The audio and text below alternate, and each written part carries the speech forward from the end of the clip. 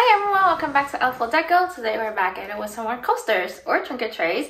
Uh, last time we made some origami paper coasters, so some really pretty Japanese design origami paper.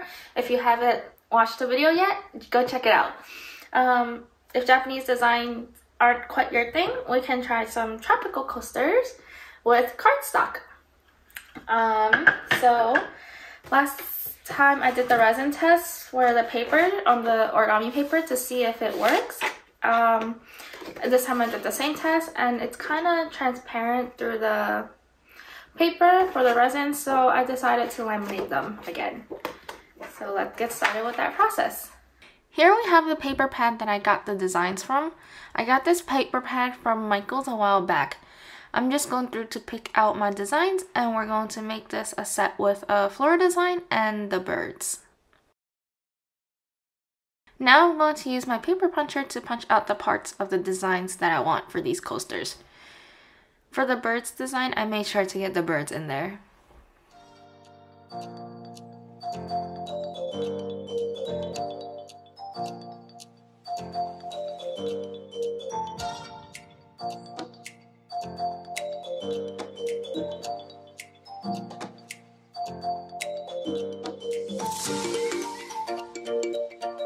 Now I'm going to put these circles in my laminating pouch and then another pouch that came with my Make laminator.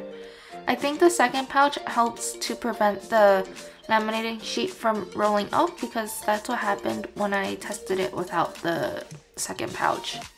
Each laminator is different so this is just what I do for my Make laminator.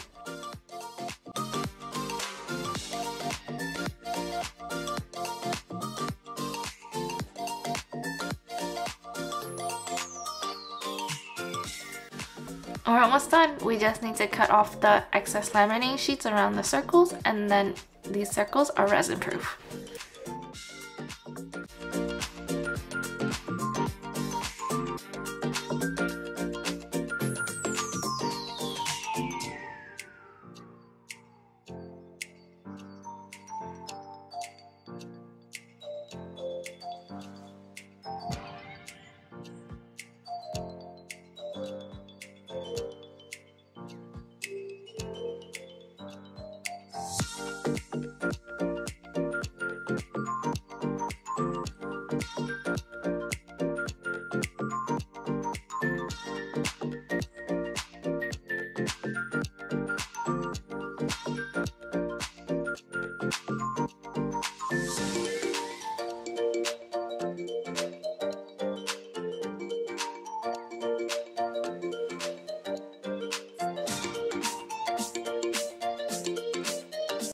Now we're going to pour the first layer, which is just the rim. I chose the green pyromorphite and opulent tanzanite from Meyspring to pair with these designs that we have here. I am using Total high performance slow resin for these coasters. I'm just going to mix the mica powder into the resin and then pour into the rim. We'll let that harden and then come back to put the papers in.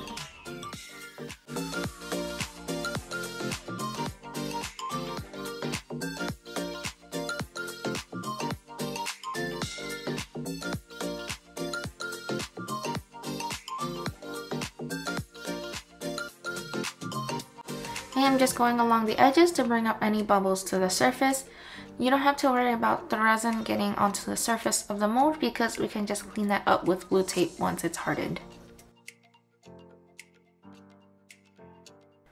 So it's about several hours now and you see the drips have completely hardened and we're just picking it up with the tape very easily.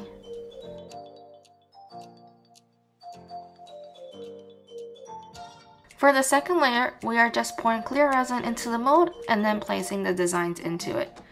I am reusing a cup that was used to mix a red color, so the cup is red if you are confused. We're just spreading out the resin to make sure it covers the whole mold and then we can just place the design right into it. And press hard to get the bubbles to the surface.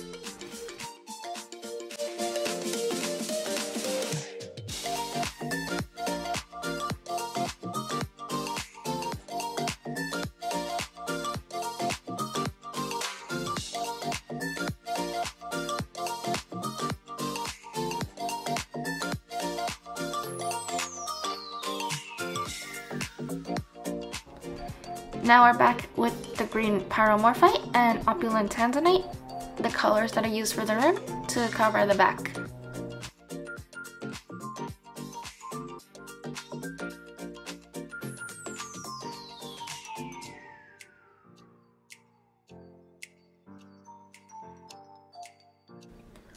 So now we're ready to demold these coasters and look!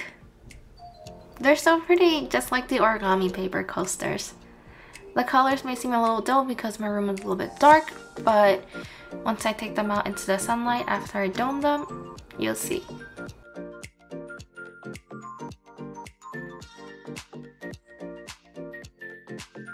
So I am adding a top layer to these coasters just to make them extra shiny. I am using TotalBoat tabletop resin for this process. I just poured some resin in the middle and then spreading it out to the rim. That way I can control the amount of resin that I use for this step and not over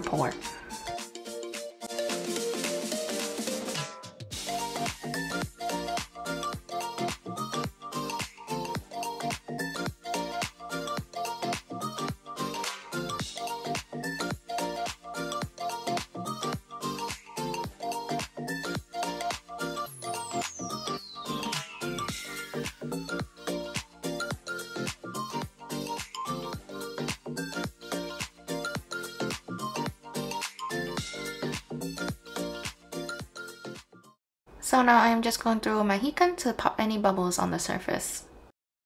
And then we'll let that sit for 12 to 24 hours and I'm ready to show it off.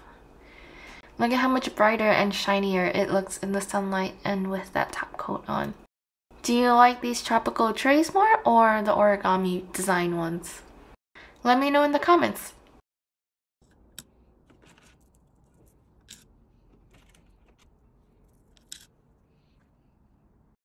Thank you for watching this video. If you enjoyed this tutorial, please hit that like and subscribe button. Let me know down in the comments below what you think about these coasters and what you would like to see in future videos. I'll see you next time.